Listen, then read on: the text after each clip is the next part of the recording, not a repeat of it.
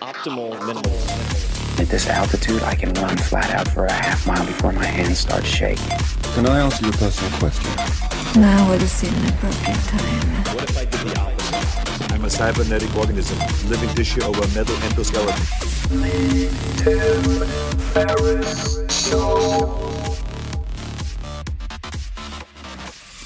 This podcast is brought to you by Trello.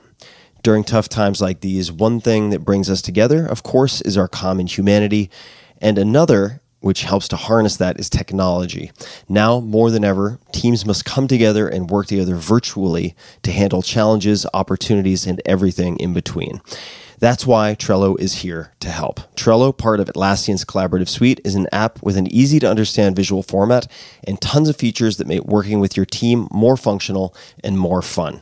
Teams of all shapes and sizes, and companies like Google, Fender, as in Fender guitars, and even Costco all use Trello to collaborate and get work done. It's one of the few tools that has also made the cut with my team, and I just have a handful of folks. So it can work all the way from tiny to gigantic.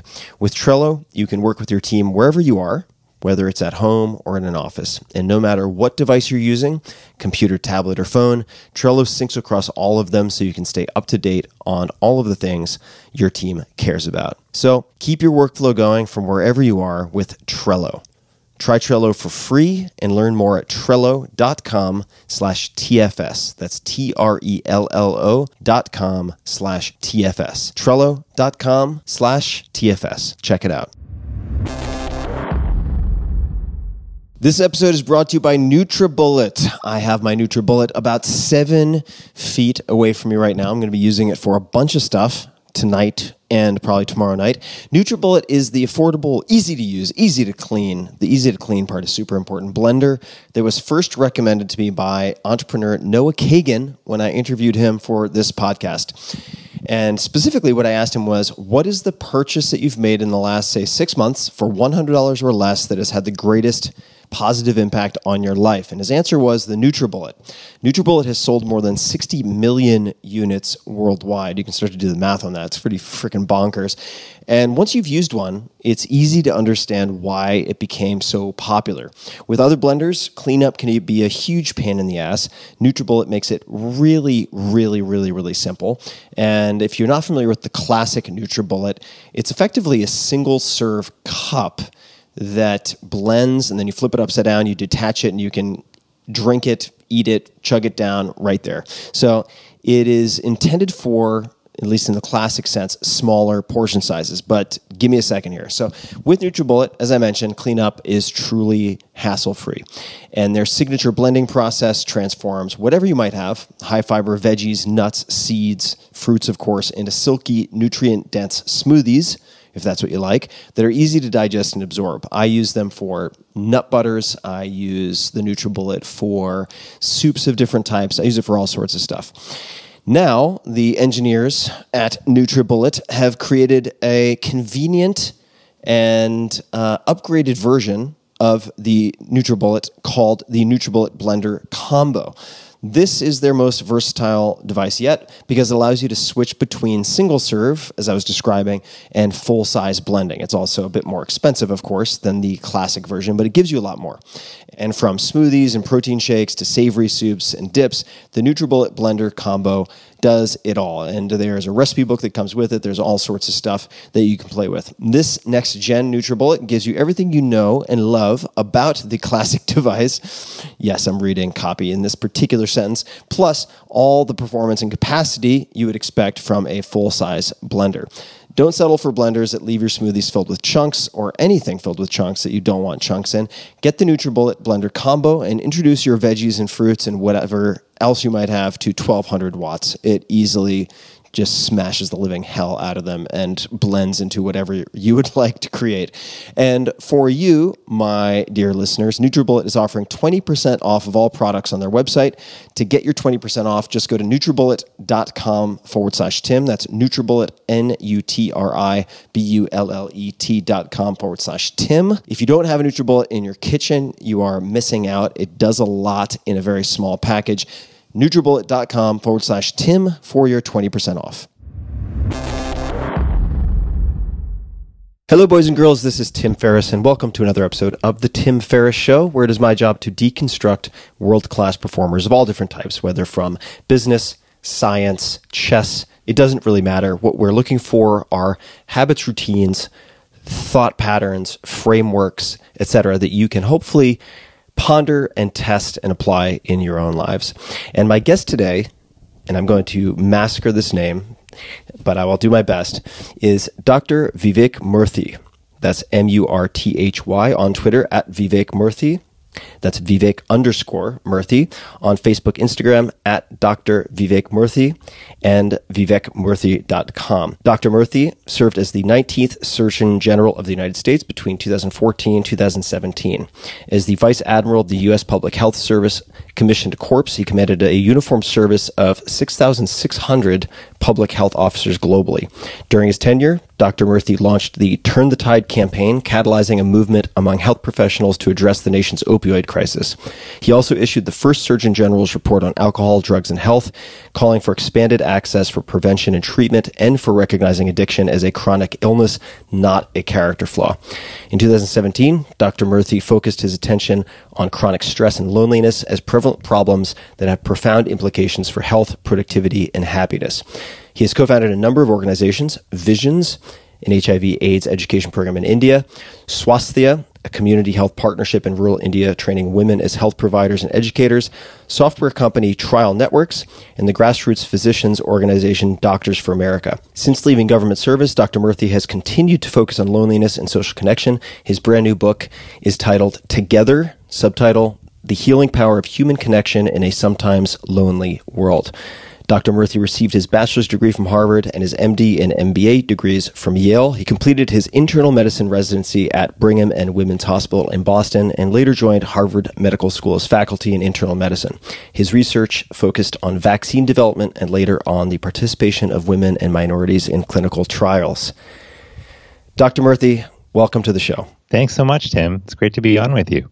I have really enjoyed getting to know you over the last handful of years and I thought we should start with how to pronounce your name properly. And I know we, we had a warm up, we had a warm up pre recording, but perhaps you could describe how you have trained people to say your name in the past.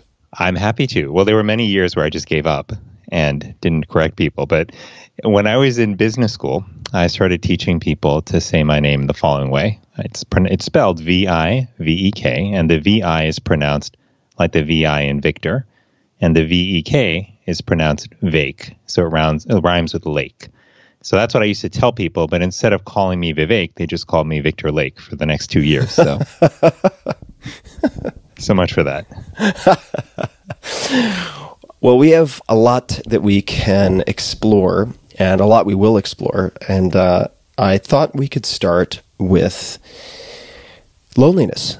And that is certainly a perennial topic. This is something that I have struggled with personally over decades, certainly struggled with as a kid.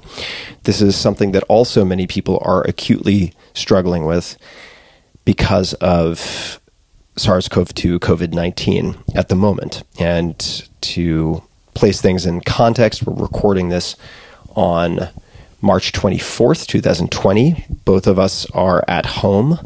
And we'll have time to talk about certainly COVID 19 and so on, and we'll dive into that. But I'd like to focus on loneliness first. And let's start at the beginning. Uh, is this a topic of interest to you because it is something personal that you have experience with, or is it from observing the impact of loneliness on health on a wider scale? Well, Tim, you know, my interest in this initially stemmed from my own personal experience.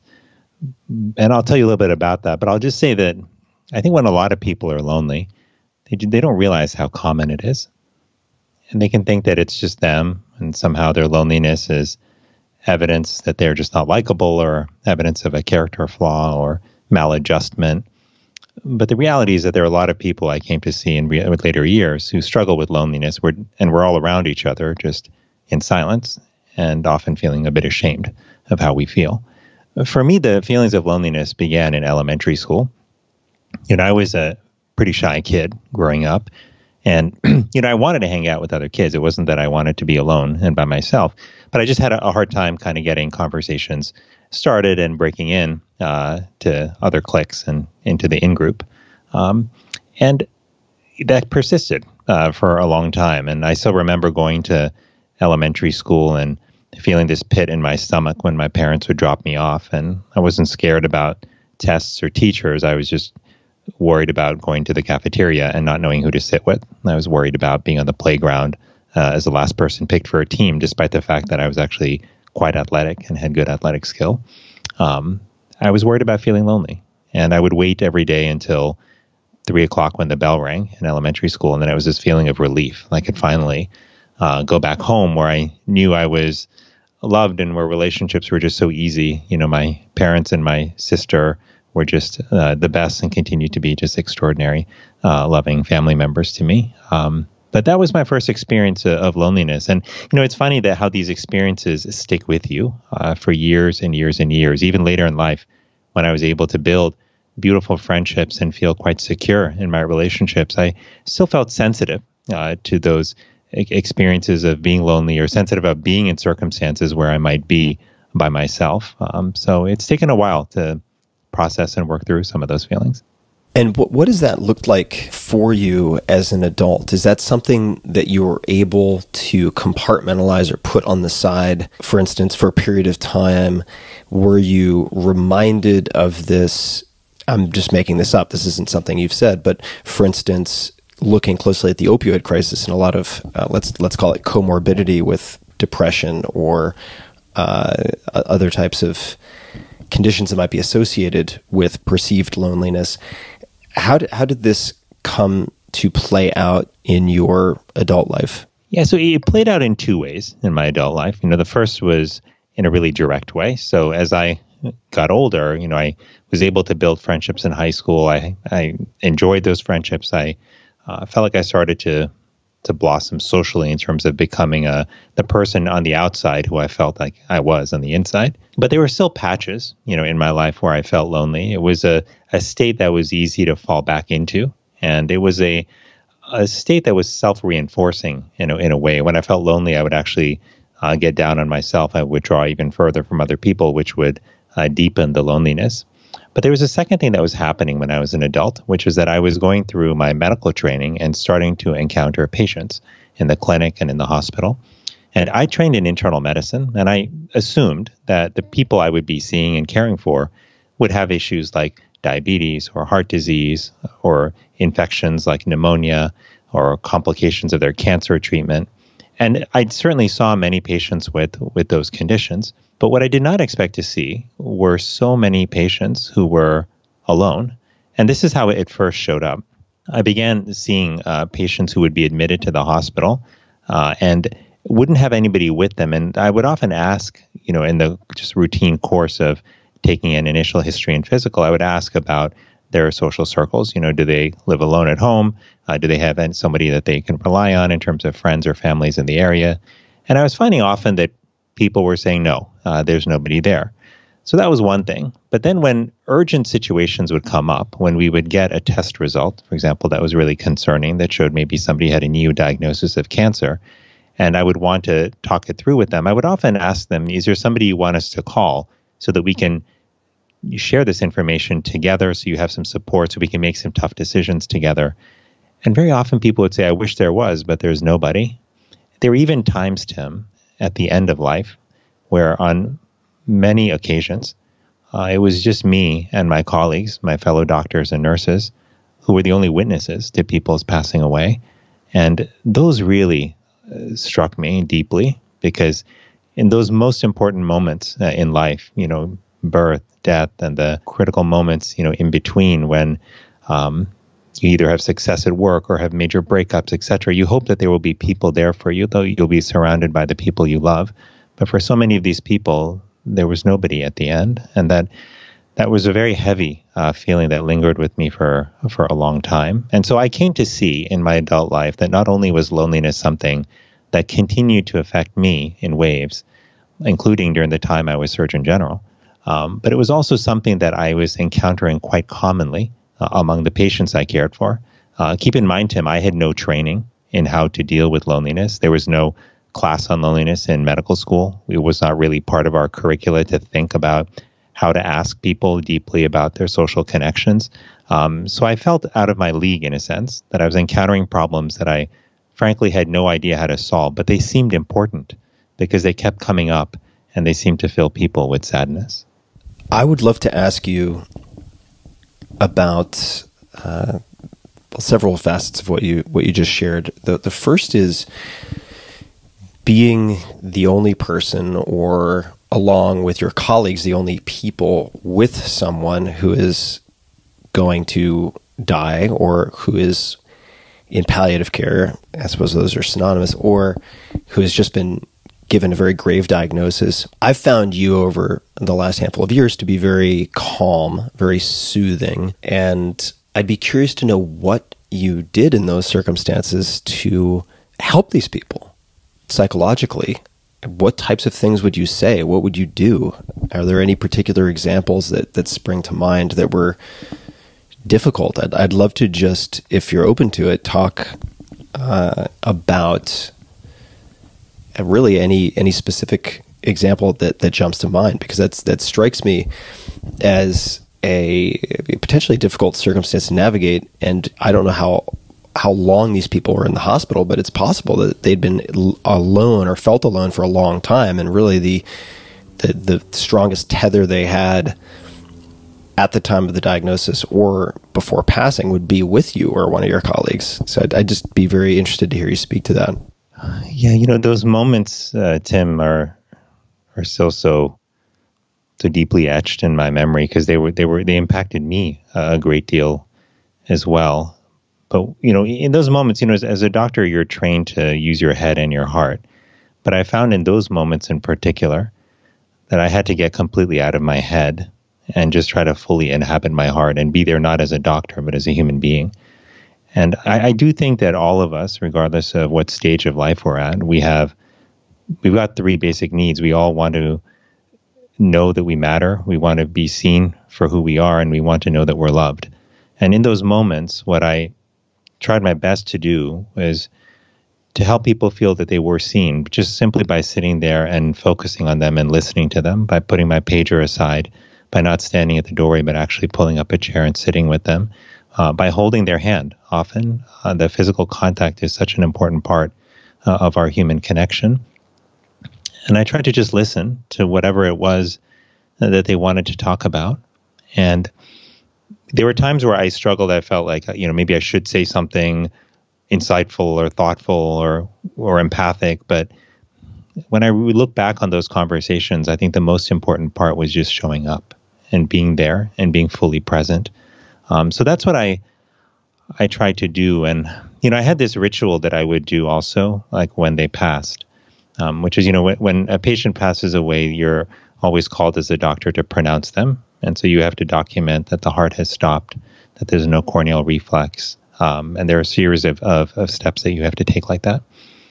Um, and so I would do that, but I would also then take a, a minute to just stand by their bedside in silence with them and to just imagine sort of like the energy, you know, of the universe just washing over them, you know, with love and with kindness. Um, and that was my special moment with them. And even though they passed, I would like to, I would hope that it was meaningful for their spirit. It was certainly meaningful for me. But those are some of the things that I would try to do um, at the end of life. I don't know uh, if they mattered or made a huge difference in people's lives, but I, I hope that it may have eased the pain of their passing just a little bit. Thank you for sharing that. How do you think about your own mortality or relate to mortality? And I, I won't get I, I don't mean to take this in a metaphysical or esoteric direction, but as someone who has witnessed a fair amount of death and no doubt thought about the finite time that you have on this planet, at least for now, how do you relate to mortality or think about it? Yeah, it's a really good question. Um, you know, I, I, think I think about my mortality often, n- not in a morbid way, but in, in a way that I hope will remind me to appreciate the present moment.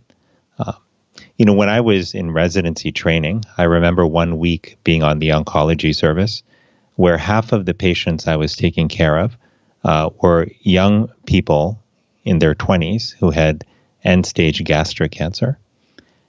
And I, I was in my 20s at the time. And it was really a stark experience for me because I could have been lying in that bed instead of them. Like these were accidents of fate. Uh, and so there's something about training in medicine in those years and then caring for patients afterward that made me continually recommit to trying to be as present as I could, recognizing that you know tomorrow is not guaranteed. We don't know how long we have with the people we love, but but we can make choices today to dramatically improve the quality of our life and the depth of our happiness. And so eh, when I think about my mortality, I think I try to think about being fully present now. Uh, I try to think like, you know, after that, my residency training, I, I made a significant change, for example, in how I spent my leisure time. So I made it a point uh, to try to come home uh, to see my family in Miami every two to three months. Prior to that, I used to go about twice a year.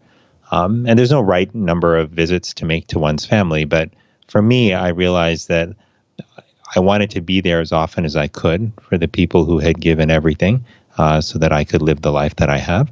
And to me, that was the, um, well worth it. And I look back on my life, and you know, we all look back on our life and we wonder if we made the right decisions. And I, I'm the same. I'm not always sure I made the right decisions on things, but in that one area, I feel like, yes, that was the right thing to do to come see them more often. So, yeah, you know, as a dad, it's a little different now. Also, I think about more mortality, and it's bittersweet because I think about the things I may miss if I'm not here in terms of my children's um, major milestones in life, their moments of great joy and happiness.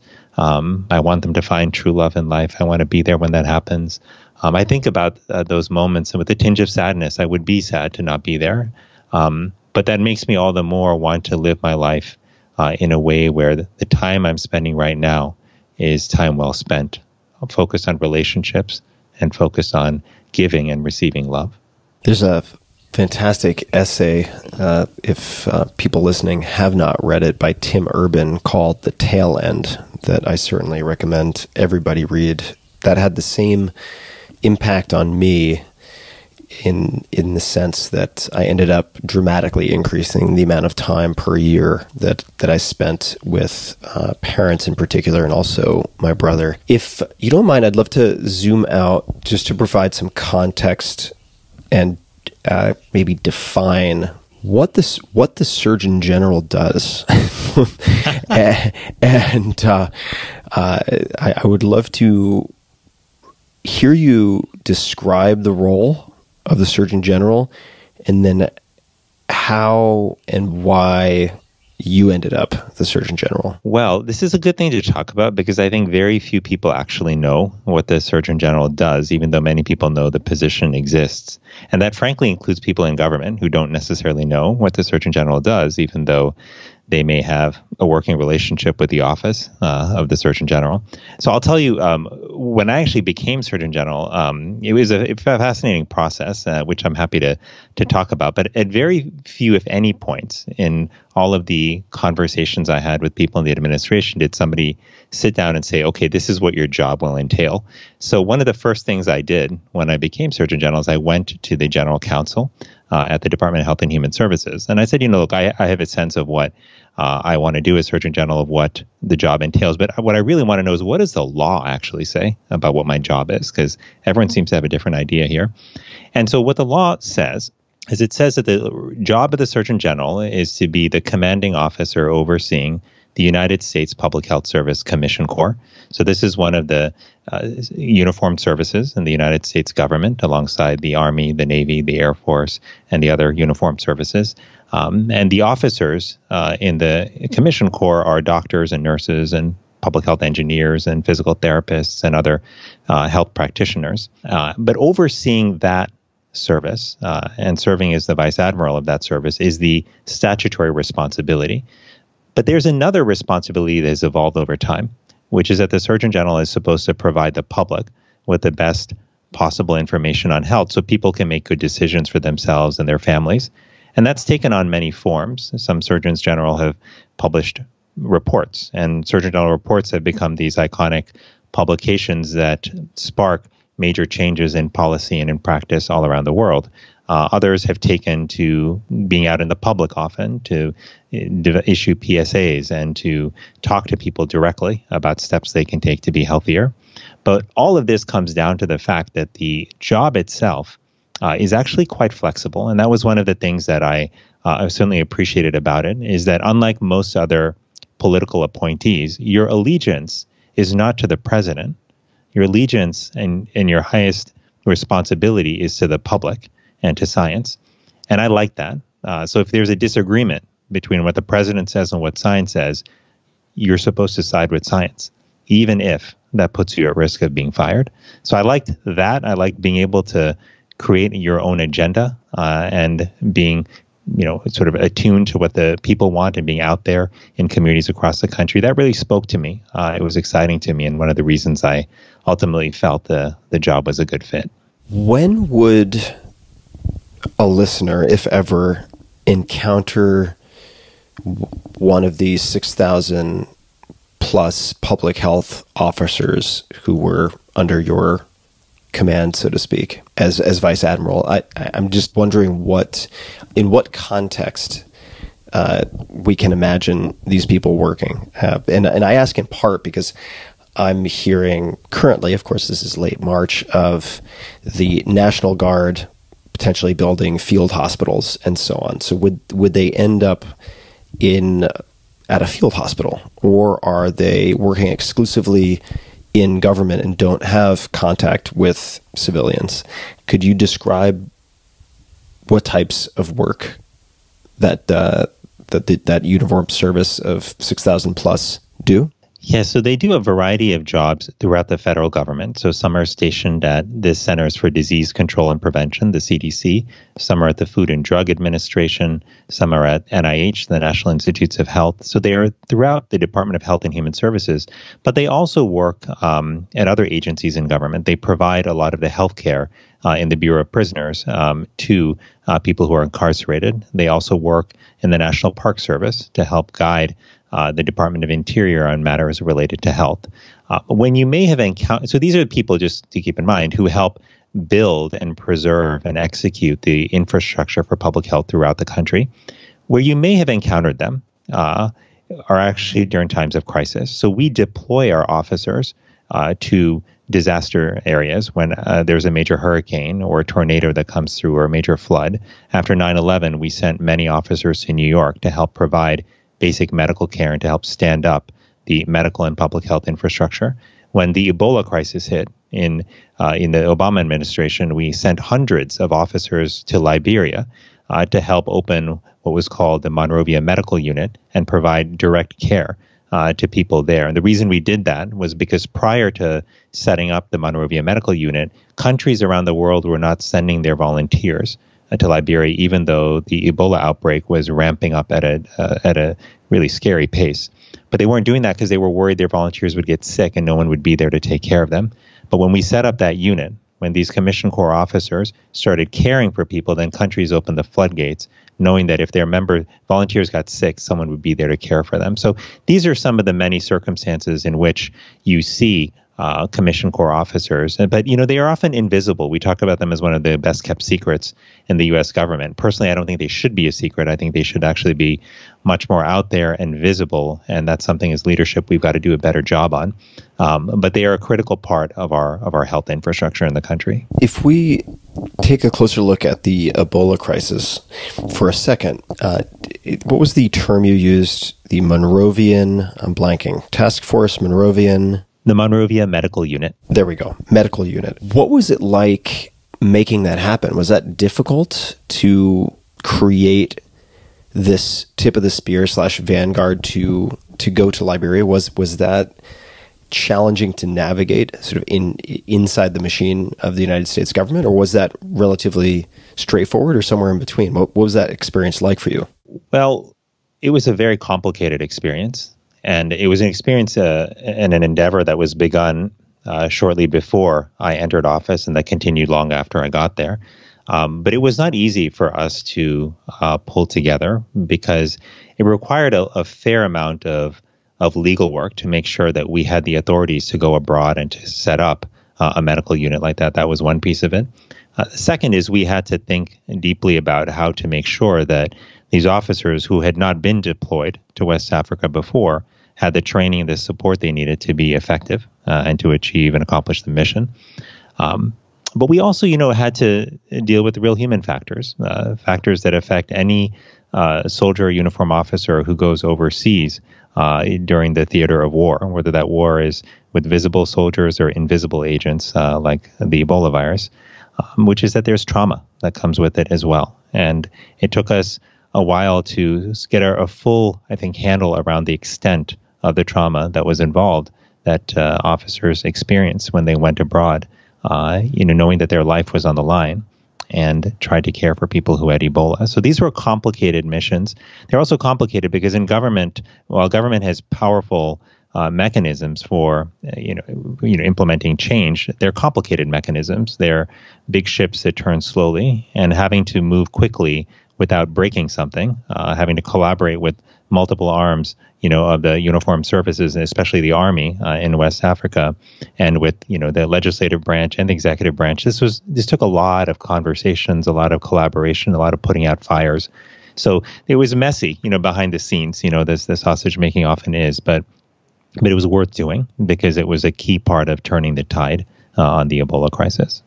If you don't mind, I'd love to chat a little bit about the uh, the pink elephant in the room, which is just for sake of simplicity, I'll call COVID nineteen. I understand there's a virus, and then there's the disease, and so on and so forth. But how are you currently thinking about COVID nineteen?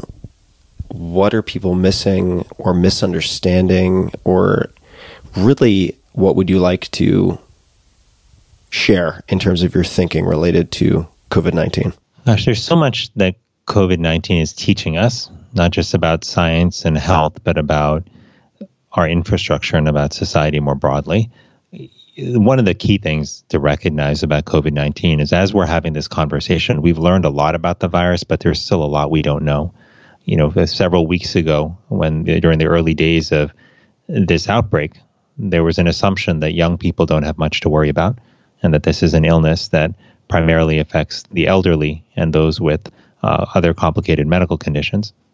But the data that we're starting to get now shows that perhaps uh, that distinction was too stark, and that in fact younger people are more affected and get more seriously ill than we had uh, previously thought. So this is a humbling virus. It's teaching us new things about it, and we've we've got to keep that in mind and and make sure that we approach it with caution and that we err on the side of being too cautious and too aggressive uh, in addressing it. You know, I think the second thing that's important to realize about uh, you know about COVID nineteen is that this virus is not the flu. Uh, this is a, a very different virus. It's much more contagious. It's much more deadly, and we don't have any tools in terms of medications or vaccines to address it at the current moment. And hopefully that will change over time. But right now, we don't have those tools, and we also don't have natural immunity in the population because this hasn't been circulating for years. You know, I think the other part to, to remember here is that every now and then, there's a moment in the world's history where we are faced with a challenge that's far bigger than any one of us or that any one country can s- solve on its own. And COVID 19 has presented us with one of those challenges. And the question is, how are we going to respond? You know, as a world, how are we going to collaborate to not only develop therapeutics, but also to help each other overcome shortages of masks and other protective equipment? How are we going to share data so that we can learn together about how to prevent uh, catastrophe as the virus spreads across the world? Uh, it's a real test, you know, of the relationships that we have between countries, but it's also, and I think perhaps more poignantly, a, a test of the relationships we have in our communities. Um, you know, we're coming to realize that with a virus like this that spreads really easily where there is no treatment yet, one of our most effective mechanisms of preventing spread is to physically distance people. As painful as that is, as lonely as that can be, it is one of the more effective strategies. And so, as we speak, we're currently implementing that, you know, here in the United States. And it is not an easy thing to do, but one of the things that it's already started to illuminate and remind many of us of is that we really do need each other.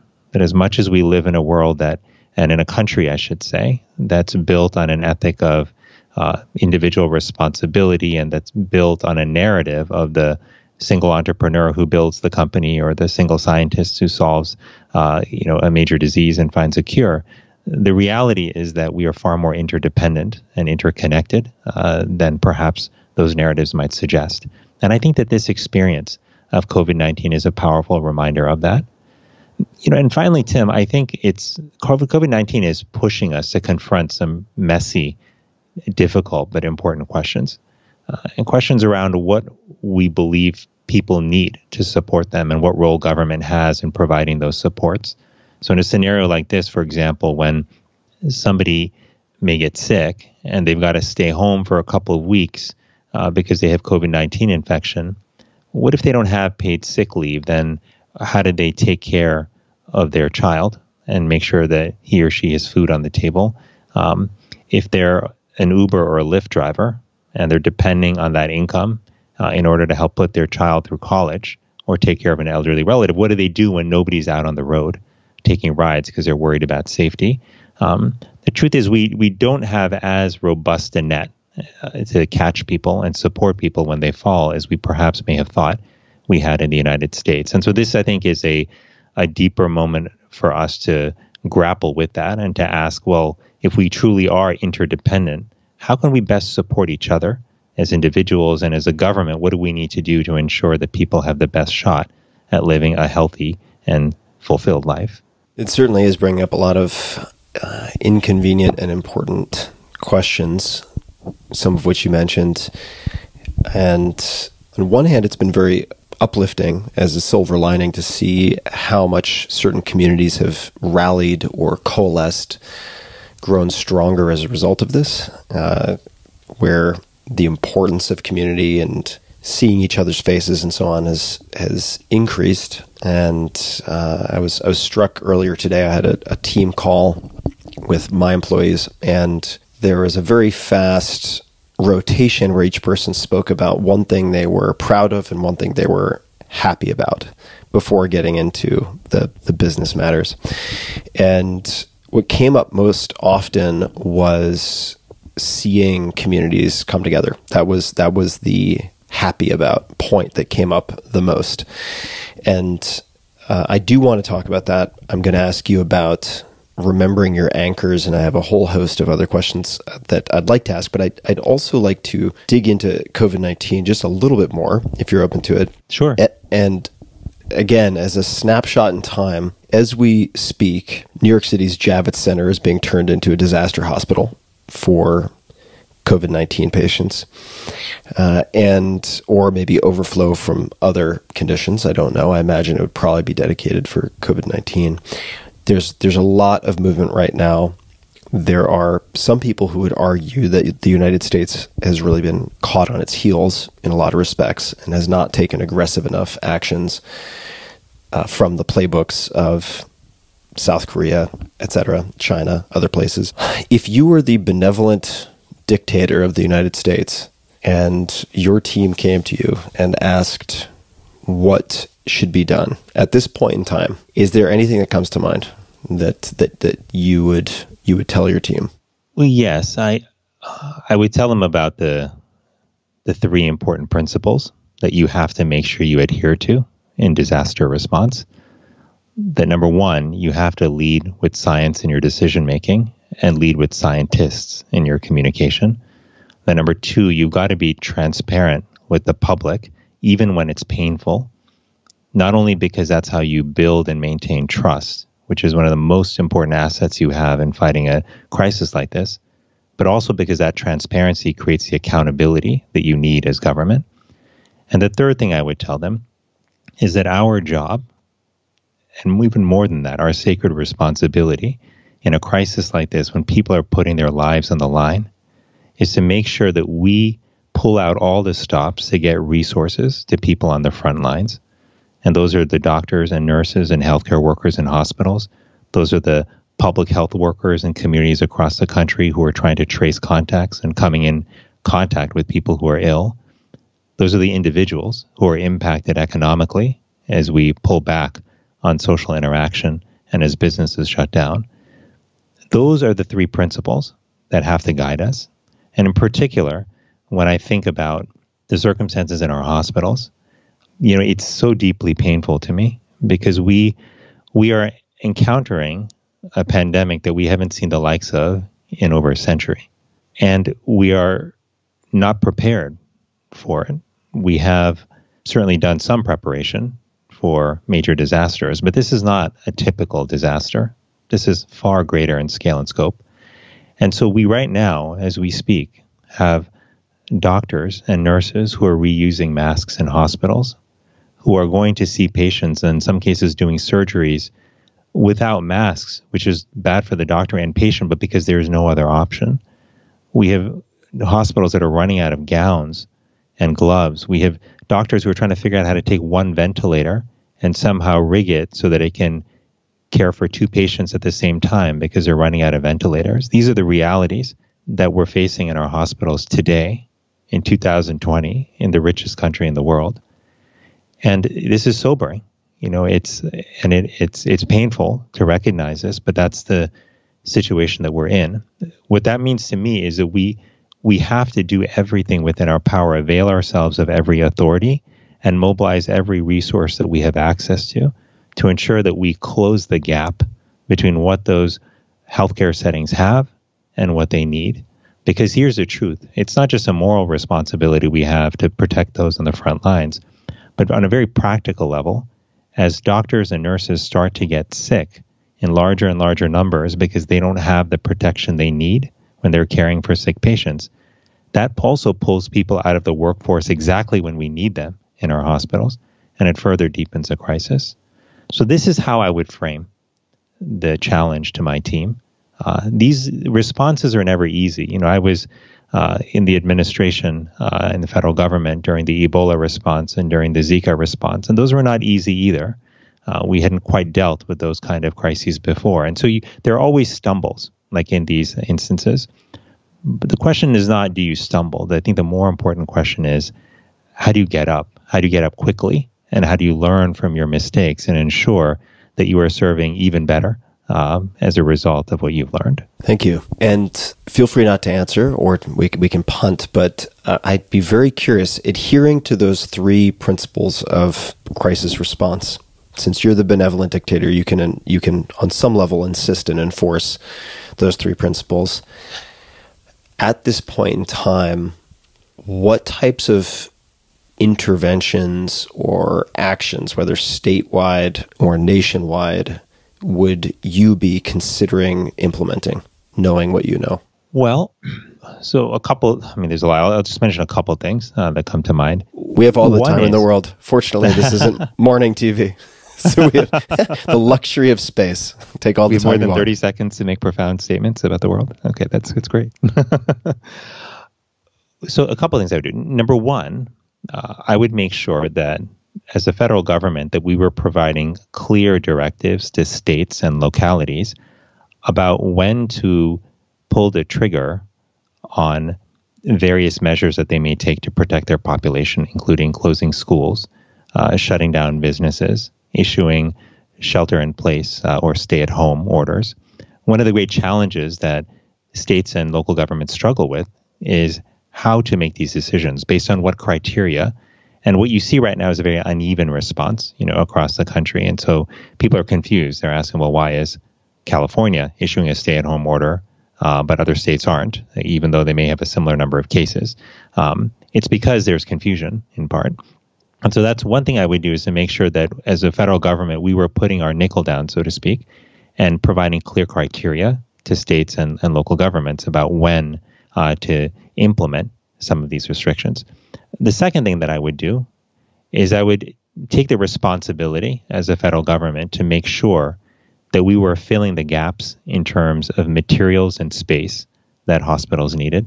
That doesn't mean that we have to provide everything directly ourselves, but it does mean that we need to be responsible for solving the problem.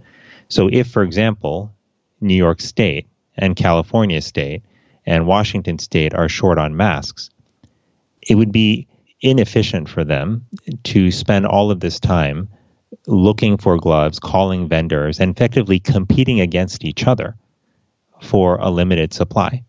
this is a place where it makes sense actually for the federal government to step in uh, and to use its power to procure what's needed. And so that's the second place where I would exercise authority. The third place where I would do it, uh, think the third area that I would focus on would be to ramp up domestic production of the materials that we need, particularly around personal protective equipment for healthcare workers. This includes masks and gowns and gloves. Now, we have authorities that the federal government can use uh, to compel private industry to produce uh, these products if they're in the national interest. In this case, they are. Now, I think we should only use those kind of authorities as a last resort because they are disruptive. But part of what real leadership is about is about bringing people together to do voluntarily what we need as a country to have done. And in this case, I think if we had uh, a clear and compelling call uh, to private industry with clear directives on what is needed and on the specs for what needed to be produced, I think we would start to see more and more businesses voluntarily switch over their production and start to produce masks and gloves and gowns. This isn't actually theoretical. Like, even as we speak, I've spent the last five or six days in touch with multiple companies that have sought me out and are seeking other uh, public health experts out saying, you know, I have a shirt factory or I have an another type of apparel factory. I want to help. Give me the specs. I will start producing today. Um, this is the spirit, you know, of America that we're seeing with people standing up in every corner of this country, raising their hand and saying, "How can I help?" And part of what we need to do as government is to give them the opportunities to help, to make it easier for them to step up and to make a difference. Um, so there's a, you know, these are just a few of the things I think that are essential uh, to do right now.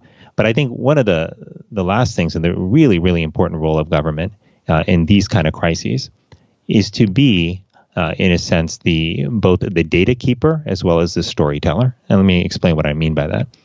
In moments like this, there are key questions that people uh, want to know the answer to. They want to know how many people have the illness, how many people have survived, how many people have been tested, how many of those tests are positive, uh, are there shortages of tests anywhere, and how quickly can we meet those shortages? These are data questions. And in the absence of having a clear place where people can go, it makes a response much harder. And we don't have full clarity on some of these critical data questions right now, but that absolutely needs to be something that the federal uh, government steps in to help solve in partnership uh, with states. But the storyteller side of the coin is also very important. Uh, storytelling is is is essential. It's not just entertainment; it's how we process events. It's how we anchor ourselves, you know, in an experience. It's how we find meaning uh, and make sense of really confusing times. And the role of a leader in a crisis, whether it's an individual leader or an organization, like in this case, like the federal government that's taking the lead, is to be able to tell a clear, honest, transparent, but compelling story about the journey we've been on and where we're going. You need to be able to tell people what we've seen and experienced, what the real costs of it are. But you also have to provide a hopeful path forward and help people see how we can emerge from this what the path to doing that actually is and how we can actually get there together. None of these things I've described are easy, but they are necessary. They're essential uh, during crises. And these are some of the areas that I would focus on, you know, if I had the privilege of serving. Thank you. It's it's been uh, it's been fascinating to observe, at least on the on the state level, Cuomo's daily briefings, which I think seem to be certainly a step in the right direction but that would be needed if I'm hearing you correctly, more so on a on a national on a national level. God, I hope we can get our act together. uh, I'm I'm, uh, I'm uh, optimistic and pessimistic depending on the on the hour in which you happen to catch me. Uh, but it's it's uh, do you think it is possible in a country like the United States, and uh, we won't spend too much more time on on, on the, the nitty gritty of this, but to implement some of the aspects of the playbooks from countries like, say, South Korea or China that seem to have played roles in uh, somewhat, uh, I shouldn't say necessarily completely containing, but uh, lowering the R naught of uh, the SARS-CoV-2 in these places. For instance, you know, there's contact tracing and so on, which seems like it would run into privacy issues in the United States if we're using private cell phone data and geolocation and, and so on. You have, say, in South Korea, actual penalties. In other words, enforcement of shelter at home, uh, which I believe escalated over time to the point where they got to something like in the thousands, between five and eight thousand dollars per infraction. And I, I mention that just because a friend of mine told me that looking at satellite data of San Francisco after the shelter in place command, the foot traffic was roughly 60% of normal. so uh, that, that, doesn't strike me. It's a very leaky condom that you're using to practice safe sex, uh, metaphorically speaking. So, right. So that, that doesn't, that, that doesn't really give me a super high degree of confidence in a compliant population without enforcement do you think we are simply too culturally different and too politically divided to implement some of these more some of these stricter measures or or would you if you could implement some of these things in the United States? Yeah, this is a, such a good question and uh, you know, you, there's some of the extraordinary public health measures that have been taken in South Korea and China to really stem the tide of COVID 19 would be hard to take here uh, for, for sure.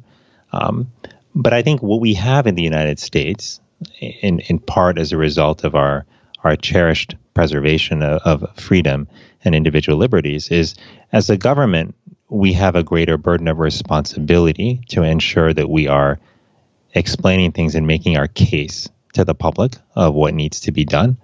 And so that is an important, but not always an efficient way to achieve behavior change. Uh, you mentioned that foot traffic in San Francisco was 60% of what it was after the shelter in place order was issued. And that's not that's not good. That's like you know that means that we're going to still see continued spread uh, if there indeed is a lot of virus in the city, which we have reason to believe there is.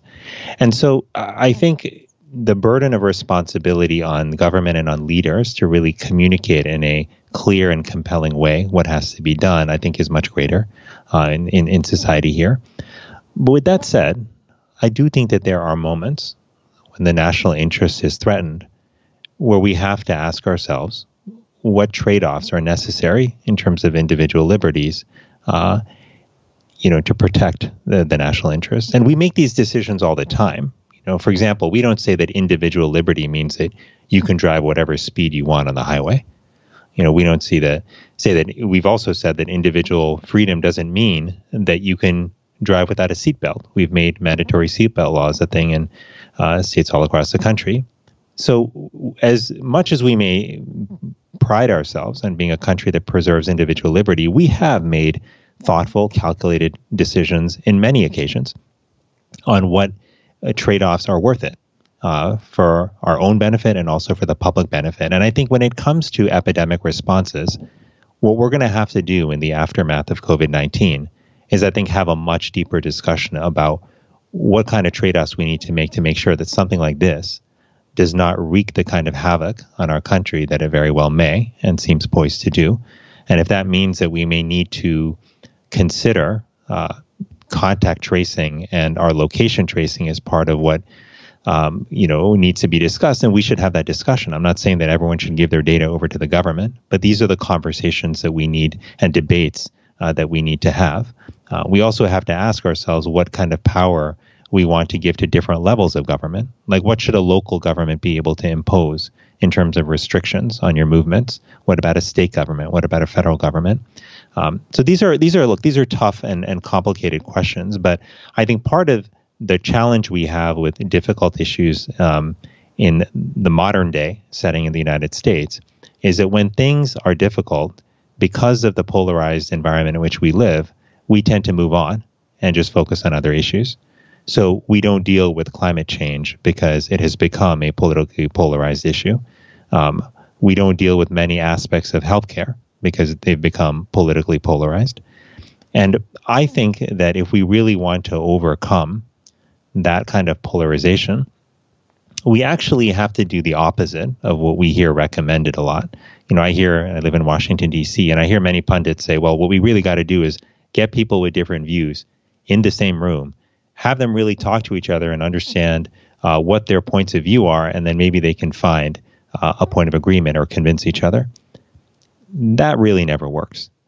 The way people overcome these barriers, the way they sort of bridge uh, the polarization that they're experiencing right now, is actually by building relationship first. That has nothing to do with the actual issue at hand, whether it's climate change or gun violence or reproductive rights.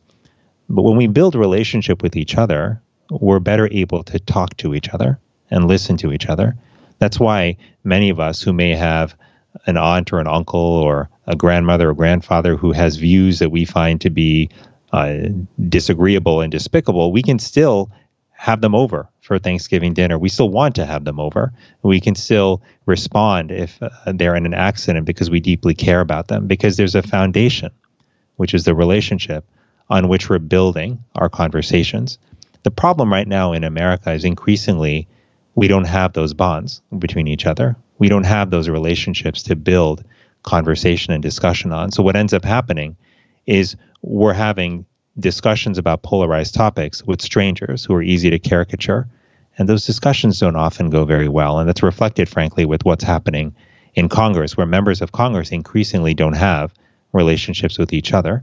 And it makes it's not a surprise that it's harder for them to come together and broker real solutions uh, for the larger public. I've, I've been thinking uh, quite a lot about this polarization and what at least temporarily can suspend or make irrelevant that polarization. Uh, 9 uh, 11 would be perhaps one example. These acute losses of life, these very graphic events that seem to unite people, at least temporarily, to take certain steps. Uh, Pearl Harbor, probably another fantastic example, right? So, Japanese attempt to destroy Pacific Fleet, underestimating sort of dynamic qualities and uh, variables that could change when the United States united and uh, suddenly changed all of its production and so on to then later turn around and sort of exact vengeance a thousandfold. And I, I, I am on some level darkly optimistic that. I mean, this sounds terrible, but I, you know, sort of anticipating that there could be something that graphic uh, and and awful, particularly given the nature of every cell phone having a video and a video camera and still camera embedded that would perhaps suspend the polarity, the political polarity, long enough to take really decisive action. D- do you think there's anything that comes to mind as it relates to COVID 19 that could act as such a catalyzing event? I mean, what, what would it take, if anything comes to mind, to temporarily uh, give us a political ceasefire so we could take really decisive, unified action? Well, I, I do think, uh, Tim, that COVID 19 could be a catalyst uh, for greater unity and for stepping back from the polarization. And part of what gives me hope is that I'm already starting to see that happen here and there in communities across the country as people reach out to each other uh, and help each other as people check in on neighbors who are struggling now without anyone to help them because they're alone. Um, you know, I've seen even on a local level, even though this doesn't get a lot of press, you know, I've seen local officials kind of step up and put uh, traditional partisan issues aside to work together because they recognize that there's something much, much greater at stake and much more urgent, which is the lives of the people that they're there to serve. Um, and I so I do think it, it can happen. I what I worry about is is this is does it always have to take a crisis, particularly one that involves a loss of life and great suffering, for us to realize uh, that we truly need each other and that we need to come together and put our collective well-being over our individual interest. Uh, I hope it won't always take that, but I do think that given the magnitude of what COVID 19 has already done and what it stands to do uh, to the United States and to the world, that this could be uh, a wake up call This could be an opportunity for people to come together. Um, the real question, though, Tim, is will they stay together? And if you look back at 9 11 and at many of the tragedies we've experienced as a country, we do come together. And what we see in those moments is, I think, the actual authentic, intrinsic human spirit, which is a spirit of togetherness, uh, a spirit of interdependence, um, the spirit of compassion and generosity and joy. But that gets quickly eroded as we settle back into our, our day-to-day lives. And there are many reasons why we settle back. And there are forces, I think, in the messaging we see in, in media and from work and in the larger culture, which keep pulling us back, I think, away from a focus on relationships. You know, Tim, what I find interesting is if you and I went to a street corner in any major city in the United States and we pulled 100 people aside and we asked them all what their top priority in life was, I can almost guarantee you that all of them would have a person as their top priority. Maybe their spouse, maybe their child, maybe their mother or father. But if we look at how we live our lives, if you look at where we put our time, energy, and focus, if you look at what society tells us constitutes success, it's actually very different. Like the message that society sends us, and in particular that young people get uh, through various forms of media, is that success is driven by your ability to acquire wealth, power, or reputation slash fame. And if that is what worth is connected to, then we'll build our lives around that. That's where we'll spend our time. That's what we'll be thinking about when we go to sleep at night. Uh, that's what we'll invest our energy in. But in reality, I think what gives us the deepest joy and fulfillment in our life is actually our relationships. And when I think back on uh, the people that I had the privilege of caring for in the hospital at the end of their life, uh, I think a lot about what they talked about in those final days.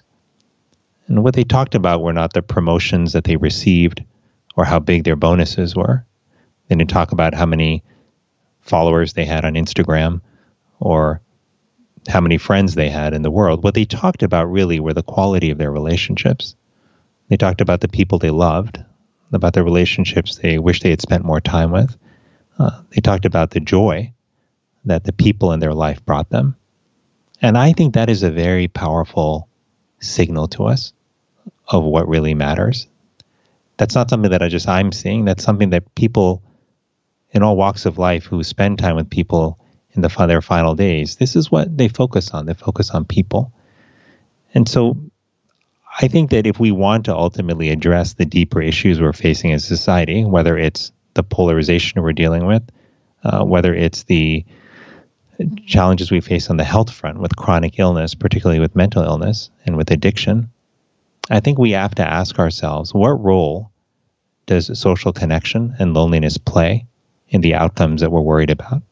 And what I have found over the last few years in thinking about this issue and talking to people who are have studied this for a lifetime, uh, in hearing and listening to the stories of people all across the world who have struggled with loneliness, but who have also built lives of rich social connection, is that it is our relationships that are the foundation on which we build everything else good health, fulfillment, and a good life.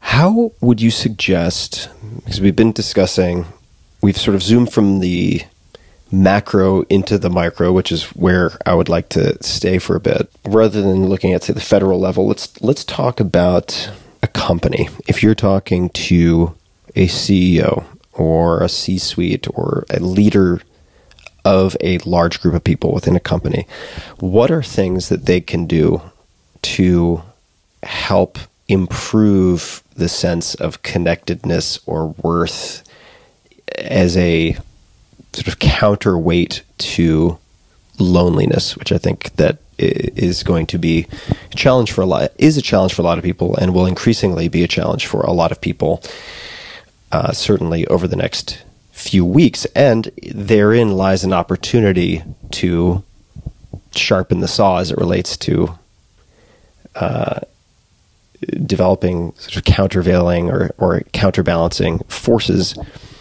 opposing isolation or loneliness so, so what types of tools or advice would you suggest uh, with business leaders, people who who run companies, whether it's five people or five hundred or five thousand? I'm really glad you asked him because I think that the workplace is an incredibly powerful place for us to cultivate human connection. And I think when we don't have workplaces where people feel like they have strong relationships, that has a measurable impact on productivity, on retention, and on overall satisfaction at work. There are some fascinating researchers who have been working in this area, including Sigal Barsade at, at Wharton, um, who have found that, that loneliness in the workplace is just as common as it is in the general population. Somewhere the around 20, 25% of people in the workplace seem to struggle with loneliness, and the consequences are substantial. So, whether you care about the bottom line or you care about the happiness of your employees, uh, loneliness and social connection matter. And I think there are a couple of things that we can do uh, in companies that, that would really help. I think one is to create opportunities for people to really see and understand each other for who they are beyond the roles that they play in the workplace. You know, all of us have a fundamental desire to want to be seen for who we are, not just as, you know, Tim who's great at pricing strategy or uh, Vivek who's good at God, I don't know what I'm good at, not sure, but you know, we want to be known for more than a skill set. We want to be known as human beings who've got a story. Uh, I'll tell you one example of something we did when I was a Surgeon General. Is we created this exercise called the Inside Scoop exercise, and we did this when, after a year of working really hard to try to create a family environment in the office, we realized that people still were not as connected as they could be, despite all of the weekend picnics and the happy hours and all of that. Quick So- question before we Yeah. get to the practice, the inside scoop. How did you ascertain that you had that problem? Does that make sense? Like, how did you diagnose that or observe that before we get to the inside scoop? I want to get there, but I want to also know how you diagnosed it because I would imagine there are plenty of business leaders who think everything is just hunky dory going along swimmingly, whereas in fact, it is it is perhaps not. So, so if you could speak to that. Yeah. So, you know, eh, what we didn't do is we didn't have like a very specific survey tool that we used to assess in a quantitative way whether people felt connected or not. Those kind of tools actually exist, but we didn't use them. But what, what we were going on was actually a more, much more simple observation. Uh, from my perspective, I was observing the office and feeling that people were not stepping out of their lanes enough to help each other. Now, that's a voluntary thing. It's not their job description to help someone else with their job. But it wasn't happening to the extent uh, that I thought it should be happening. And I started to wonder why. And to me, when I think about the workplace, a lot of my, my, my thinking comes back to the model of the family. So in a family, people help each other. Why do they help each other? Because they feel a sense of commitment and connection to each other, because they know each other deeply. So even if somebody messes up, there's a deeper well of knowledge about who that person is that makes you more likely to forgive them and to give them the benefit of the doubt. In a workplace, I think you can ideally create a similar kind of environment. So the fact, though, that people were not stepping out of their lane enough to help each other made me think that their connection to each other was not as strong as what we wanted it to be. And so this inside scoop exercise that we instituted was actually very simple. It was five minutes uh, in our weekly all staff meeting where we picked one individual and we asked them to show us pictures for those five minutes pictures of anything they wanted, except it couldn't be connected to the work that they were doing right now, to their current job. So some people showed examples of careers they had before, others showed pictures of their families. People picked what they wanted. What was really powerful about this, despite how simple it was, is it gave people a chance to share who they were without any pressure in the sense that like we weren't telling them to like fit fill some criteria to generate some sort of response to have a list of questions that they could pose to the group there was none of that it was just very simple show us something that you'd want us to, to know about your life i'll tell you the one uh, gentleman in particular uh, my aide de camp and was in the marine corps prior to joining the public health service um, we all thought that he might show pictures of his time in the marine corps you know he was had a strong allegiance to the Marine Corps. He talked about his experiences there a lot. He was also, you know, very stoic. He still had a the same crew cut and haircut that he had in the in the Marine Corps. He had maintained, you know, over all those years. Um, he was what people in the office call the guy's guy, uh, and when the day came, though, for his exercise, he didn't show pictures of his time in the service. What he showed were pictures of his mother and pictures of his father. And he said that he could see the musical talent of his father living on in his children as they tinkered with the piano. He said with his mother that when he was in a, in those moments of grave danger in the Marine Corps, when he was deployed on missions where he wasn't even sure if he would come back alive, that in those moments when he felt the fear rising in his stomach, that it was his mother that he would think of because she was his picture of strength. She had raised him and her, his brother largely on her own. She had fed them and clothed them and got them an education and helped them build a successful life. And that to him was real strength. And when he shared that story, Tim, it was so deeply moving.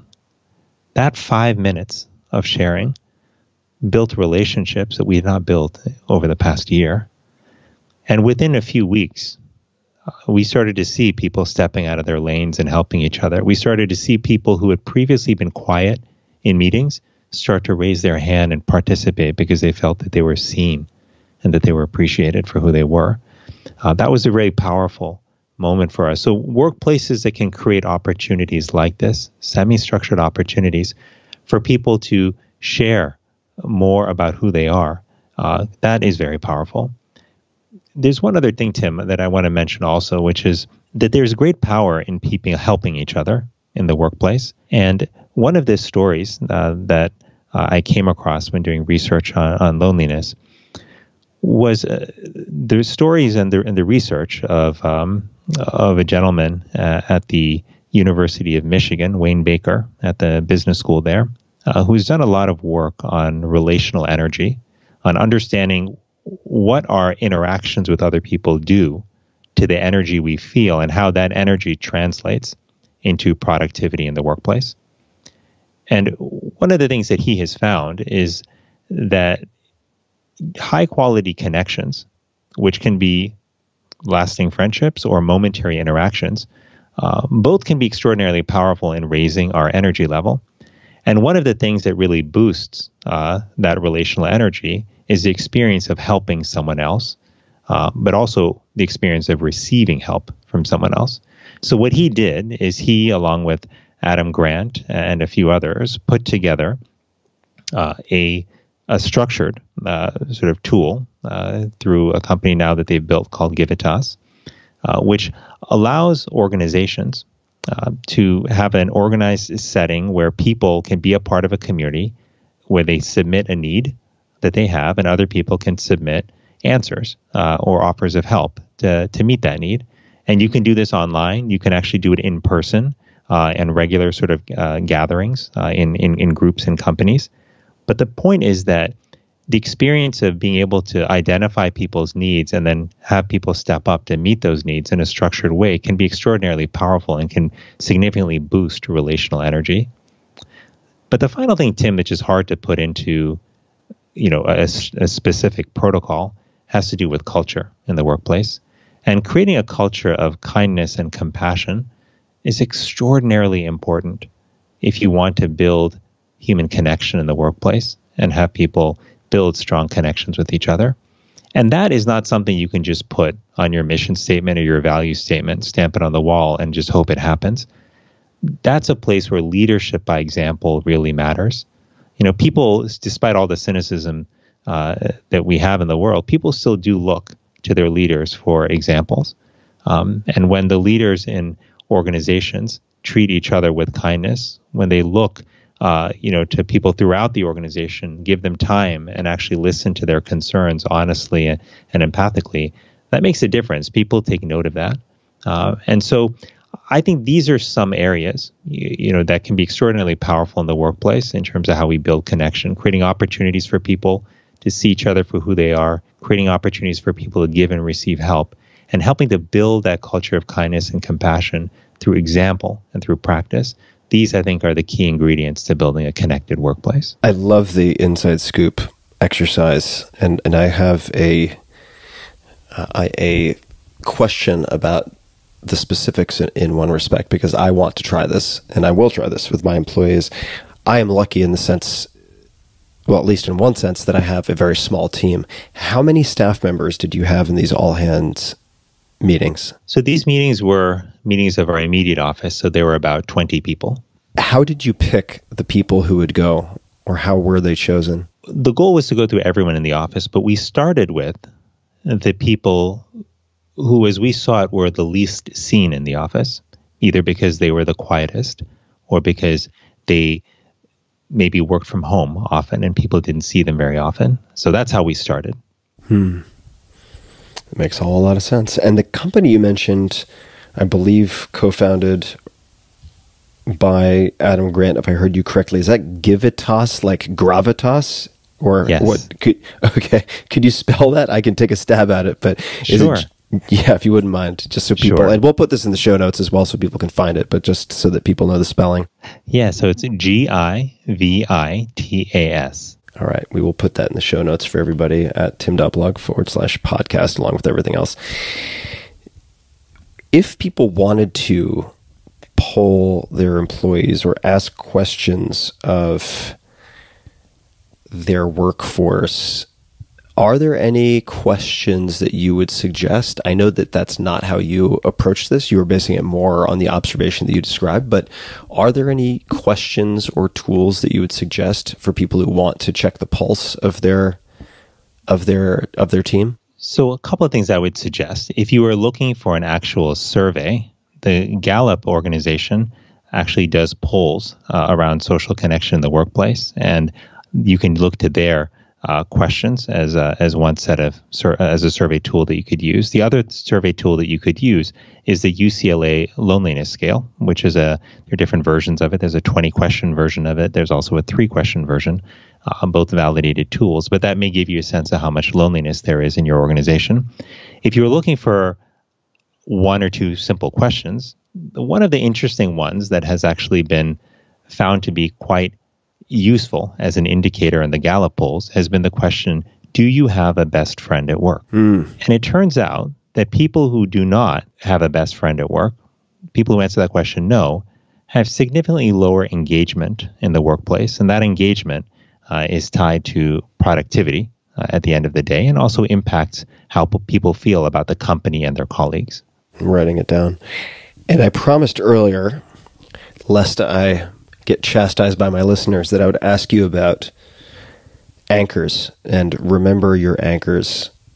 Could you please speak to what remember your anchors means and also describe your anchors and why they're your anchors? That's so interesting you're asking me that. Can I ask you where that question came from, Tim? Yeah, the question came from homework. I was reading a Forbes piece, and uh, the that is where the mention of anchors came up. But you can't believe everything you read on the internet. So perhaps I have been reading an interview of Victor Lake and mis- and misattributing. But I'll read what I have in front of me, and we can use that as a jumping off point. So feel Uh, free. I actually I know what you're talking about, and that Okay, was right. that was actually Vivek Murthy, not Victor Lake. So we're, we're on solid ground here. yeah, perfect. So perfect. Tim, remember your anchors is is a piece of advice that I developed to remind myself actually of often when I was in residency. And you know, when I was in residency training, it was a really intense experience for me. I was both you know dealing with life and death every day. I was seeing people who were gravely ill who were my age uh, and who very well could have been me. I was also though trying to figure out a lot of stuff in my own life. I wasn't sure what I wanted to do. I was kind of going through yet another identity crisis of trying to figure out do I want to be a doctor 100% of the time? Do I want to be something else? So I was trying to figure out a lot of stuff and I was dealing with a tumultuous sort of intellectual and emotional experience. And in that very unsettling, ungrounded uh, time in my life, I found that what I really needed was some force that would ground me in my life. And I began to think of those as my anchors, uh, the forces that would keep me tethered, that would make sure that I didn't float off, you know, in these moments of hopelessness and worry and anxiety. And those anchors ultimately were people in my life. They were my mother and my father, uh, my sister, Um, there were a few close friends, like my friend Akhil, who was my roommate in college. Uh, these became my anchors, and what I what I tried to force myself to remember uh, in the years that followed, well after I finished residency, is that I need to be keep tracking, keeping track of whether or not you know I'm remembering those anchors and reaching out to them and staying connected to them. Because at times in my life where I have felt anxious and worried, the times where I felt just lost, frankly, um, of which there have been many, including very recently, um, those moments are often when I've lost touch with the people, like in my life, the people who uh, are really the ones who know me almost better than I know myself, the people who can remind me of who I am, even in those moments uh, when I forget. And I, I want to say that last part again because that to me is a true uh, definition of, of a friend. And this came from somebody that I spent some time with uh, in college on a overseas trip to India to do HIV work. And in one of these like late night sort of philosophical discussions, I just happened to ask him. I was like, "Hey, hey man, what do you think real friendship is about?" And he said to me, just pause for a moment. He said, "A real friend is somebody who reminds you of who you are even when you forget." And that has stuck with me. And those people are our anchors. They're the mirrors that we need during moments in our life when our vision is foggy and we can't really see uh, our way out of the fog and we don't know who we are. We don't know where we want to go. We're just lost. And so, anchors, to me, those are people, those are relationships. That's what we've got to hold on to, regardless of what stage of life we're at. It is easy for me, at least, to forget who I am. It's easy to lose lose the plot. Uh, Uh, and there, I suppose there are probably shared characteristics that typify the the episodes in which that's most likely to happen. You mentioned a recent experience of feeling lost. What was that? What happened, or what what what caused that feeling to come up for you? Well, it was when I ended my my stint in government when I was no longer Surgeon General and I was back to being a, a, a civilian and I was trying to figure out what to do with my life. That was a time of real difficulty for me. I was I was lost, I was lonely, I was probably depressed. I was unsure if I had any value to contribute to the world. Uh, and if I did, I was unsure how to actually I was unsure how to actually deliver that value. Um, it was a really hard time, and you know, part of it was that, and I even told myself this during my time in office. I was like, I'm here as a custodian uh, of an office, and I'm the custodian of the office of the Surgeon General, but the Surgeon General is not my identity. That's not who I fundamentally and intrinsically am as a human being. It's an office that I'm occupying.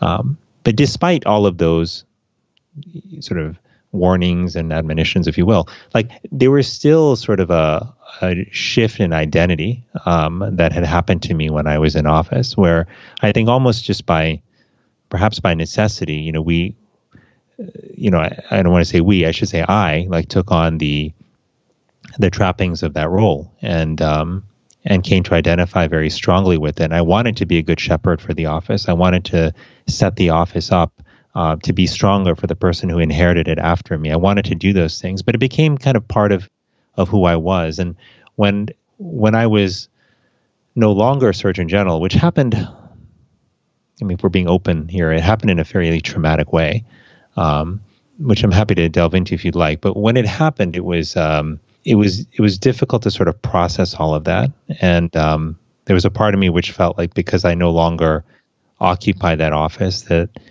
somehow people wouldn't want to engage with me, or maybe they wouldn't think that I had any value to add the word to the world, or maybe the same very things that I had said back then, if I said them again, would somehow be less valuable because they were not coming from somebody who held that position. There were all of these thoughts, often irrational thoughts, that were uh, going through my head, and and it was really, really hard, Tim. It was one of the loneliest times I've had uh, since my my childhood. I want to ask you how you found your way through that or out of that, the things that most contributed Uh, I mean, and certainly, I mean, there there's might be a component of regression to the mean, but I, I- would love to ask you about pieces of the puzzle that that you found particularly helpful for getting through that period. Uh, but just so my listeners' minds don't run wild with all sorts of uh, imaginative scenarios, could you could you speak briefly to why the transition was so traumatic? You don't have to share, of course, any detail you're uncomfortable sharing, but uh, I, I do think a little more context would would be helpful. And uh, frankly, I'm also curious myself because you and I haven't haven't spoken about this. No, we haven't, Tim. Yeah, so I'll tell you. So the office, the Surgeon General, is an unusual appointment in government in that it, even though it's an appointment made by the president, the term does not end when the president leaves office. So the vast majority of political appointments will end uh, on January 20th when the new president takes office, and you submit your resignation letter, and then you move on, and you give the new president the opportunity to appoint their people. That's how it works. But there are a few positions where that doesn't happen. They're called term appointments. So you're given a four year term, and that may run into the next administration, uh, but you you you serve that term, uh, but you still serve at the pleasure of the president. So if the pre- new president comes in and they say, you know, I've got my my own person that I want to to appoint, and I would like you to step down, then you know, then you make room uh, for the new person.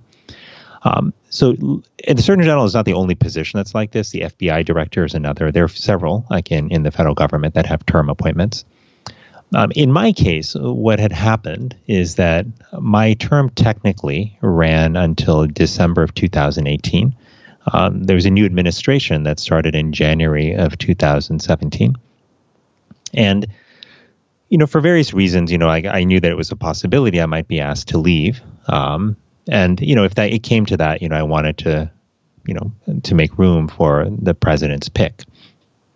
But the way it sort of happened was uh, was a bit surprising to me because there was it was one of those things. There was really no discussion sort of about it. Um, often there is, but um, and it was sort of in the early days, you know, probably four months in, three four months into the administration, where things were still a bit chaotic. People were finding their footing and figuring out the building. So one day, I I had a meeting at I believe it was three o'clock on a Friday uh, in April, and I was supposed to be meeting with um, with one of the assistant secretaries, uh, and I walked into the room, and the assistant secretary was sitting on the side, not in his chair, and I was surprised. But there was somebody else sitting in his chair, um, and he said to me, he said, "Well, you know, as of three o'clock, you know, we are going to terminate you unless you resign right now." And I was puzzled because the same person who was in that chair had actually I had had meetings with him before, and he had said, "Hey, we're really excited to work with you on your opioid initiative because the opioid epidemic is a big problem. It's a bipartisan issue, and we know you've been doing a lot on the issue. You've been, you know, leading a lot in the country on it, and we think this is going to be an area of collaboration." So I was thinking to myself, "Well, yes, you know, it would be great to work together on that because it's still a huge issue for the country." So I was gearing up to keep working on on the opioid crisis. Um, so I literally did not expect that message, nor did I expect it from this person. Um, and so I looked at the clock at that moment, and it was 3:07. And I said, "Wow! It, if I was being terminated as of three o'clock, then that means that I'm already terminated. So I guess, I guess there's no point to having a discussion." But he seemed insistent on trying to get to get me to resign, and so it was this sort of awkward back and forth where I said, "Well, you know, I, I respect the president's." You know decision of the president would like to you know like me to move on to bring his own person in. I said but it feels like it would be inauthentic for me to resign and try to claim that uh, you know i wanted to spend more time with my family or something like that. That's just it didn't feel authentic. It didn't feel like it was real. Um, and i said you know with respect if you want to, to pursue a termination and if you want to appoint your own person then just do that. It's within your rights. Like like, there's no one's going to question that. It's fine. Um, and that's how I left. And so it was abrupt. I never had a chance to say goodbye to my team, and I didn't have a chance to kind of you know process you know what all this meant. So it all happened very suddenly, and I remember going home and I you know had a few minutes to pack my belongings into a box, and I got into a cab and started going home. And you know what my first worry was that popped into my head on the way home was what are we going to do for health insurance for our baby boy? Sounds like a difficult, difficult ride. It was. It was. Yeah. It was. And I was aware in that moment, Tim, that what I was worried about then, in terms of health insurance for our boy and for uh, the family, was a worry that a lot of people have around the country every day. We're teetering on the edge of not having the health care they need. But in that moment, you know, I was just, I was just a dad who was worried about his child, and there were a lot of practical things to figure out in the days that followed. One thing I didn't really do in those early days is as I busied myself with trying to figure out a lot of the logistics is I didn't really I think fully give myself the space to process everything that was happening to sort of re-anchor myself not just in my identity but in the people in my life who had for so many years helped me to remember what my real identity was. That my real identity wasn't being a doctor it wasn't being surgeon general it wasn't any of the titles I may have held at other points in my life. My real identity was the human being I was as a friend and as a brother and as a son uh, to the people that I loved. It was the values that I cherished in my better moments, the values of compassion and kindness, the values that are intrinsic to all of us, I think, in our best moments. Like that was really who I was. That was my identity. But I didn't give myself enough, I think, space and, and time and frankly, I didn't. I think I blamed myself also for for what had happened in some way, even though on a rational level I knew that it wasn't my fault per se. I I um I think I blamed myself somehow. Maybe if I had done things differently, I maybe still would have had the opportunity to serve and to finish so many of the campaigns that we had been building around the opioid epidemic, around loneliness, around emotional well-being. Um, and, you know, I was doing all of this, Tim, in the absence of community. It wasn't because my friends had shunned me. It was more the other way around. You know, during my time in office, I had I had convinced myself that it was so important to pour myself into the job because I never knew how long I might have and I wanted to do as much as I could and make as much of a contribution as I could. That I convinced myself that I should just leave it all on the floor and sacrifice everything for that, which meant not keeping up with friends, not talking as often with my family. It also, I'm, I'm somewhat ashamed to say, meant that a lot of times when I was with people I loved, I was distracted. I was trying to keep up with, with messages and get deliverables out the door. And I look back on all of that and I started to realize what a toll that decision, that approach to my work had taken. I started to realize how lonely I had become and how little community I actually had. And so I had to live with that for a while. I had to figure that out. Um, and it was not easy. It was painful at times. I felt ashamed, you know, of having done this. You know, I, I knew I could just call up those friends and reconnect again. These are these are friends for life. But I felt embarrassed that I had disappeared, you know, for a few years. And it took some time for me to summon the courage to reach out and to actually pull myself out of you know my my shell and my sort of downward spiral to just say, hey, let's let's just pick up the phone and call a friend. Let's make a, it a point to go visit. Uh, you know, somebody who's been really a, a, dear friend to me for years, but I haven't seen. And doing that bit by bit, Tim, that helped.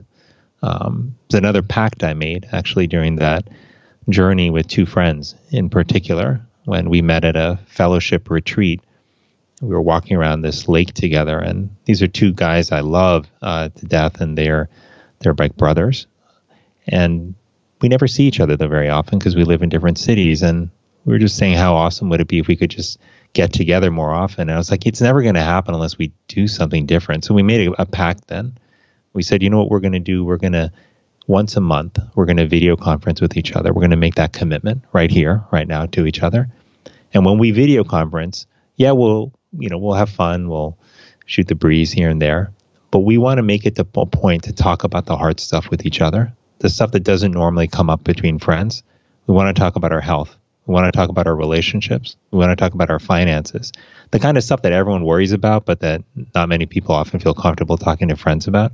Like we want to be real with each other. And I felt this hunger for that kind of realness. I was like, I, I'm I'm tired of of trying to think about who I should be. I'm trying to tired of thinking about like what my identity is, what my brand is, like what brand I should build. Like I had all these people afterward telling me, okay, you got to get on social media and really build your presence. You got to establish a brand so that you can get consulting gigs and get on boards and do all this kind of stuff. And I just felt so unhappy with that kind of approach. It just didn't feel like it didn't feel authentic. It didn't feel real. It didn't feel like who I was. And what I craved was that realness. And so when I saw these guys, I was like, let's just make a commitment to not just spending the time, but to being real with each other. And we've done that now for about a year and a half. And I'll tell you, it's been one of the most powerful forces in my life at helping me re anchor, remember who I am, what my real identity is, and commit to working on the things that truly feel like they're in alignment with my values, the stuff that I would be proud to tell my children about when they grow up. That's the power of what honest, authentic relationships can do. And I'm just so grateful for it. I really appreciate you being so vulnerable and transparent with all that you just shared. I, I think it's it's really easy speaking as someone. I shouldn't generalize. Speaking personally as someone who's struggled with depression in uh, during which the response to feeling lonely and isolated is often to isolate further, which deepens the feeling of, of loneliness. As you said very early on in this conversation, it is a it is a prominent feature of I, I think the, or common experience at the very least of the majority of humans who walk the face of this planet. It's it's not a reflection of being uniquely flawed to have these emotions and to experience these episodes. And it's, I, I just applaud you for sharing because it's so incredibly powerful when someone like yourself, who, even though you, you don't necessarily identify as such, who has achieved very high levels of success in multiple areas, former Surgeon General, are willing to share that in fact you also have gone through these experiences, I think in a way ennobles and normalizes that experience for other people. So I, I really appreciate you sharing all of that. And it it actually leads to a question for me, uh, maybe a comment and then a question. So I was doing homework as I always do for this conversation. And before I get to my, my comment and my question, uh, I'll give a pre comment comment, which is uh, you you should, if you don't already, I, I feel like you, you could impact millions of people very effectively and authentically with a podcast. So to be continued uh, as as far as conversation. You may already have a podcast, and I'm just uh, putting putting my foot in my mouth, but. Uh, quite a number of people have been on this podcast Jocko Willink, Cal Fussman, Peter Attia, and others who have started podcasts. And I so far have a 100% success rate at uh, predicting which guests can do well uh, in this format. So we to be continued, and we can we can we can chat more about that if if you ever and wanted to. Thanks, Tim. I love of course, to. Yeah, of course. And uh, the the comment is related to a Washington Post piece. This is from 2017, and I'll quote here. Please feel free to fact check, of course, but this is attributed to you. I was at a well-known university about nine months ago when I was in office, and I asked an audience of 400 faculty and students the following question: How many of you look at emotions as a source of weakness versus a source of power? And nearly every hand went up. This is the paradigm we have to flip in this country. Could you comment on that, please? Or, or share anything that comes up as I mention that, and also speak to how you, if you have, been able to view your own emotions as a source of power. Mm. Yeah, Tim, you know, that was a surprising moment for me. And when I saw all of those hands in that room of 400 people going up saying they associated emotions with weakness. And I think one thing I've noticed in my own life is that I have been in that camp often as well. If I think about growing up and the messages that I absorb from the stories that were around me, whether those were on TV or told by people or in movies, it was that especially if you're a guy, that strength is associated with suppressing emotion. It's associated with stoicism and with not needing other people, not being dependent. That's what strength is. And what I realized is that that didn't work for me. Like I didn't enjoy being the guy who's out there and didn't need anyone else for anything because I actually did need people for stuff. Uh, but I just felt embarrassed to say that because I was told that somehow that wasn't manly or wasn't strong.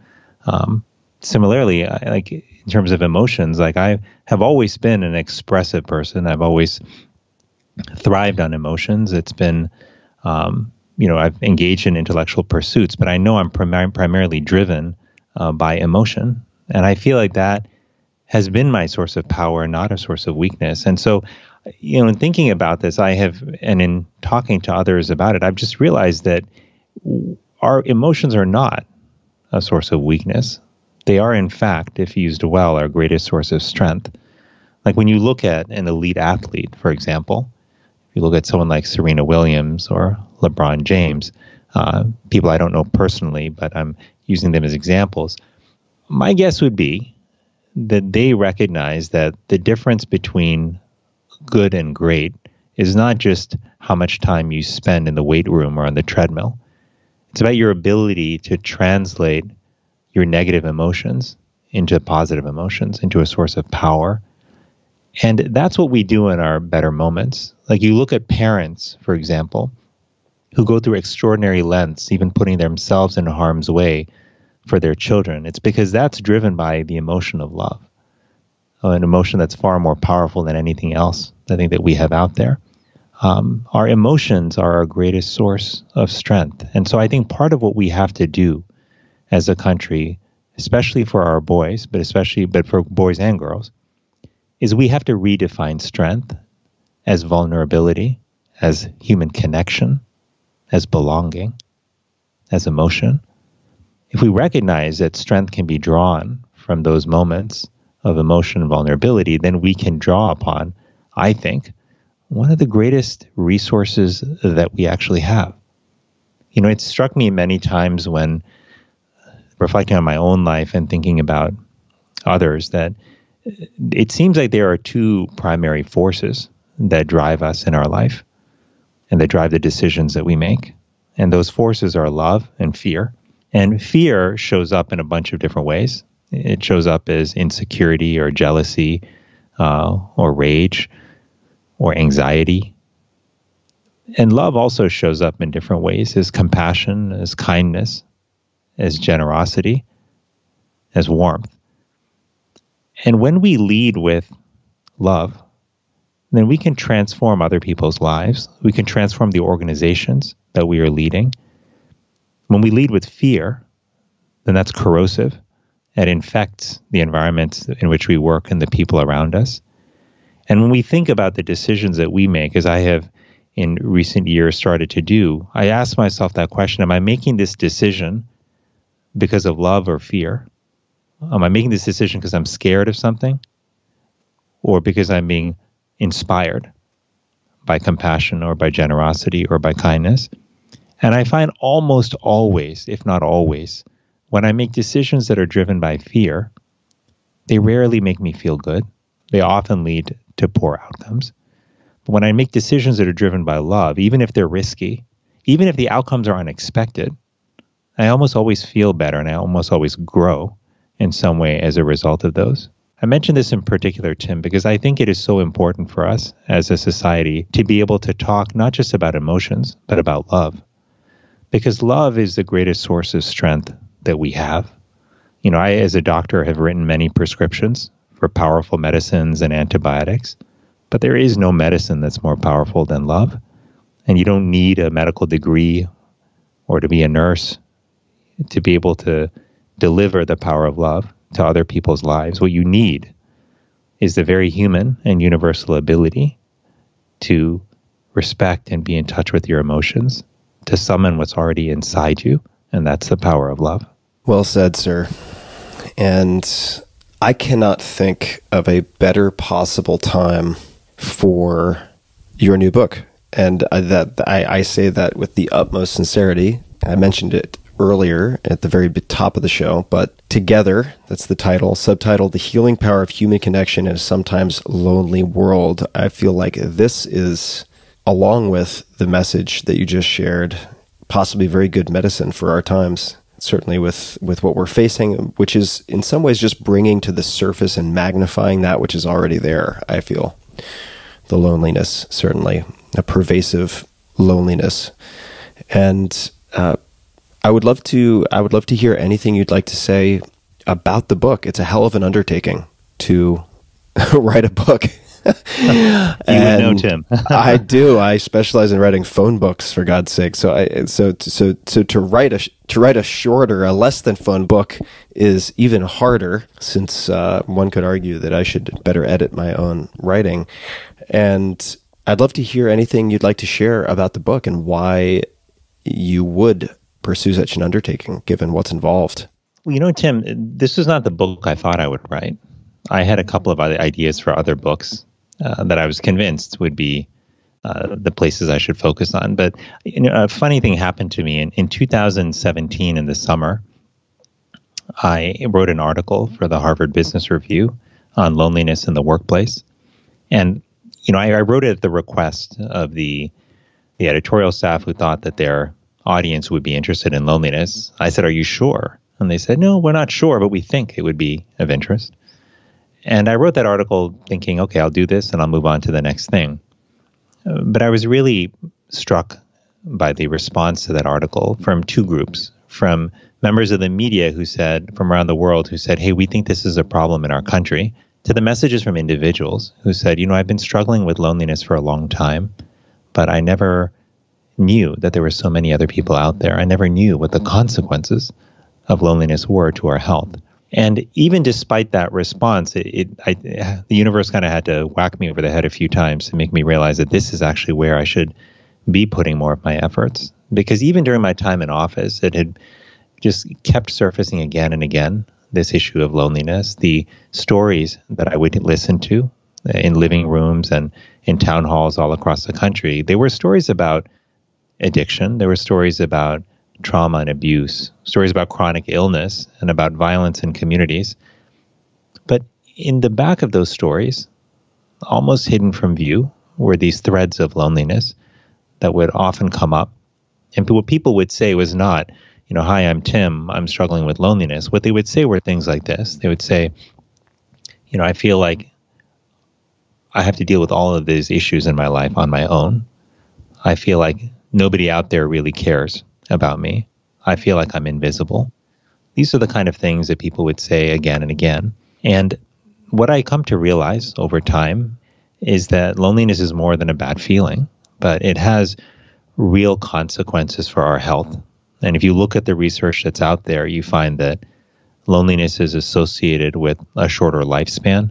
Uh, you find that it's associated with an increased risk of heart disease and dementia and depression and anxiety. The mortality impact, if you will, of loneliness is similar to the mortality impact of smoking, uh, 15 cigarettes a day. It's greater than the mortality impact of obesity or sedentary living. These three issues smoking, obesity, sedentary living these are issues I spent a lot of time on as Surgeon General, and so did my predecessors. But I spent far less time on loneliness, even though the health consequences are quite significant. And, you know, as I just started to think about this issue more, even after I came out of office, I started to realize that this is an issue that doesn't just affect our health, it affects how we show up in life, whether that's how we show up in the workplace or how our kids show up in school or how we show up in the public square and dialogue with other people. And so it turned out that our social connection is, in fact, the foundation on which we build everything else. And I came to see that I wanted to work on strengthening social connection in the world because if we could do that, I really feel that we have a better shot uh, at improving people's health, at enabling them to live the kind of fulfilling lives that all of us uh, ultimately really want. But I think to do that, to build a world that is powered by human connection, we've got to make some difficult and very intentional choices about the kind of culture we want to live in and about the kind of workplaces and schools that we want for ourselves and for our children. You know, if I had a credo, Tim, for this book, it would be this it would be put people first. That simple philosophy, put people first, is I think at the heart of what we need to build a people centered life and a people centered world.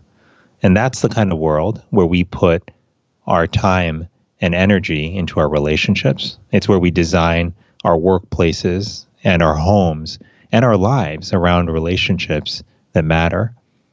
It's where the dominant culture, whether that comes through in the media or in the stories that we tell, recognizes the power of relationships and inspires us to be real with ourselves and with each other.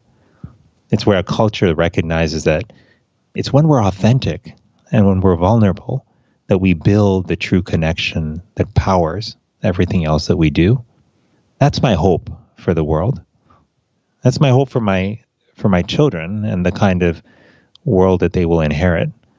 And one of the things that pains me most as a dad is thinking about the moments where my children may encounter hardship or pain and knowing that I may not always be there to support them or to hold their hand or to hug them. I know that that will happen. Every parent deals with that pain of knowing they can't always be there for their child. And that's why I think it's so important that we build a kind of world that will lift our children up when they fall down, where people will reach out to them uh, when they're feeling alone to provide them with the support that all of us need at various moments in our life. So my this is not a what I'm talking about is not a, a subtle change in policy. It's not a new law that we pass that suddenly changes, you know, the nature of human connection. This is a fundamental shift in how we think about our lives and how we think about our institutions and how we think about society. But it's a kind of shift that puts people back at the center and I think can ultimately power us to a much, much higher level uh, of fulfillment achievement than what we've achieved so far. And that's what I want to do, Tim. You know, I want to work on things that will build a better life and a better world for all of us and for our children. And if I can contribute in some small way to that, then then hopefully I can in the final days of my life, like the patients I cared for at the end of theirs, I can talk about the relationships that I had. I can talk about the kind of world that I hopefully made some small contribution to help create. And that would feel very good. Well, Vivek, I must also say thank you for uh, not only the conversations that we've had, including this one, but also for your your emotional support and compassion. Uh, last week, in my case, you're you're deeply compassionate, kind, and also calm and calming person. And I appreciate you last week when I had a fever, shortness of breath, and dry cough for 24 to 36 hours. Uh, then shortly thereafter, sort of coinciding, my dog having what appeared to be exactly the same symptoms, uh, that you were so available and understanding. Uh, as of, of course we ended up rescheduling, given that I was feverish and not in a proper state of mind to conduct a good interview. So I want to also just publicly say thank you for for that, which is a sort of microcosm of of the macrocosm, uh, in the sense that it's reflective of what you are hoping for and aiming for, and helping to foster with your certainly your message and also the book, uh, which is together. And uh, just appreciate you being you. Uh, so so thank you for uh, both the, the personal help and also what you're trying to do in the wider world. Oh, well, thank you, brother. I appreciate that. That's it's incredibly kind of you to say. And uh, I, I know people will want to wave hello and ask questions.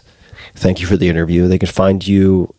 I suppose the home base is vivekmurthy.com. And I'll spell that V I V E K M U R T H Y.com. They can find you on Twitter at, I'm so self conscious about saying your name now. Uh, on Twitter at Vivek underscore Murthy, and then Facebook, Instagram at Dr. Vivek Murthy. I think the key is just for me to say it quickly and not get too tangled up in my own vocal cords. I'm just People glad can- you didn't call me Victor Lake, Tim. I'm saving. I'm reserving that for special occasions. And uh, the book, as mentioned, is together subtitled "The Healing Power of Human Connection in a Sometimes Lonely World." I certainly recommend, among other formats, get it in all formats, but make sure you get it in ebook so that you can highlight. I'm sure there will be ample opportunity. Is there anything else that you would like to share with my audience or say before we before we close this this first conversation on the podcast? Well, I just want to say thank you to you, Tim. I think what you have done through your podcast and through the work you've done through your books is you've created spaces for people to to show up, to be authentic, to have deeper conversations. And that's incredibly valuable in a world that's moving faster and faster and faster, where who we are can get lost so easily. So I appreciate uh, so deeply what you're what you're doing and I'll, maybe I'll leave you with a, one of my favorite proverbs, an old African proverb that says, If you want to go fast, go alone. If you want to go far, go together. And I'm reminded of that as we talk because I think that what we need to do in our lives, but also in the world, is we need to we need to go far. We're facing some pretty big challenges as a society, and they won't be easy to overcome. But moments like this, whether we're facing a pandemic or longer term crises like climate change, moments like this, I think are opportunities for us to find each other, to reconnect with each other, to refocus on relationships, and to put people first. And my hope is that we will use these challenges to do that, and that when we emerge out of them, that if we are intentional, you know, about spending time with the people we love, if we're intentional about making the quality of that time high quality time by reducing distraction and really just focusing and listening to people, if we're really intentional, Tim, about serving and recognizing that it is through our service to others that we ultimately pull ourselves out of loneliness and build strong connections, then I actually think we can emerge from these crises stronger than we were even before. And that's why I remain hopeful about the future of humanity because I think we were designed to be there for each other. We were designed for connection. And if we refocus on the relationships in our life, I think we will go farther and have a much more fulfilling experience than we could even imagine. So thank you for this time together, Tim. I've really, really enjoyed it. Me too. Thank you so much. And for people listening, I will have links galore, lots of resources. Anything that was mentioned in this conversation, you'll be able to find in the show notes at tim.blog forward slash podcast. And you can find Vivek, vivekmurthy.com, of course. Remember your anchors. And until next time, thanks for tuning in. Hey guys, this is Tim again. Just a few more things before you take off. Number one, this is Five Bullet Friday. Do you want to get a short email from me? Would you enjoy getting a short email from me every Friday that provides a little morsel of fun before the weekend? And Five Bullet Friday is a very short email where I share the coolest things I've found or that I've been pondering over the week. That could include favorite new albums that I've discovered, it could include gizmos and gadgets and all sorts of weird shit that I've somehow dug up in the uh, the world of the esoteric as I do. It could include favorite articles that I've read and that I've shared with my close friends, for instance. And it's very short. It's just a little tiny bite of goodness before you head off for the weekend. So if you want to receive that, check it out. Just go to 4hourworkweek.com. That's 4hourworkweek.com, all spelled out, and just drop in your email, and you will get the very next one. And if you sign up, I hope you enjoy it. This episode is brought to you by NutriBullet. I have my NutriBullet about seven feet away from me right now. I'm going to be using it for a bunch of stuff tonight and probably tomorrow night. NutriBullet is the affordable, easy to use, easy to clean. The easy to clean part is super important. Blender that was first recommended to me by entrepreneur Noah Kagan when I interviewed him for this podcast. And specifically, what I asked him was, What is the purchase that you've made in the last, say, six months for $100 or less that has had the greatest positive impact on your life? And his answer was the NutriBullet. NutriBullet has sold more than 60 million units worldwide. You can start to do the math on that. It's pretty freaking bonkers. And once you've used one, it's easy to understand why it became so popular. With other blenders, cleanup can be a huge pain in the ass. NutriBullet makes it really, really, really, really simple.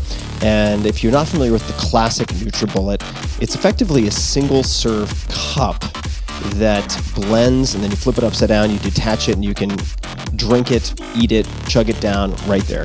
So it is intended for, at least in the classic sense, smaller portion sizes. But give me a second here. So with NutriBullet, as I mentioned, cleanup is truly hassle free.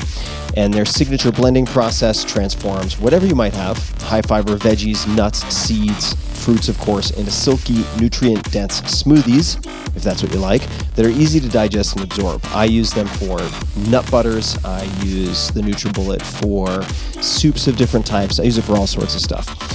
Now, the engineers at NutriBullet have created a convenient and uh, upgraded version of the NutriBullet called the NutriBullet Blender Combo. This is their most versatile device yet because it allows you to switch between single serve, as I was describing, and full size blending. It's also a bit more expensive, of course, than the classic version, but it gives you a lot more. And from smoothies and protein shakes to savory soups and dips, the NutriBullet Blender combo does it all. And there's a recipe book that comes with it. There's all sorts of stuff that you can play with. This next gen NutriBullet gives you everything you know and love about the classic device. Yes, I'm reading copy in this particular sentence, plus all the performance and capacity you would expect from a full size blender.